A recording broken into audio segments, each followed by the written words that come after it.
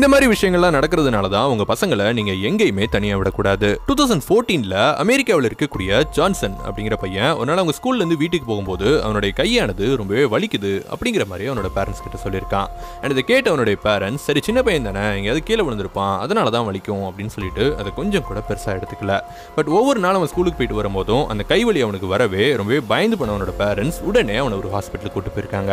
And அந்த ஹாஸ்பிட்டலில் அவனை செக் பண்ணி பார்த்தப்போ அவனுடைய கையில் குறிப்பிட்ட ஒரு இடத்துல மட்டும் ஊசியால் குத்துனதுக்கான தடமானது ரொம்பவே அதிக அளவில் இருந்திருக்கு.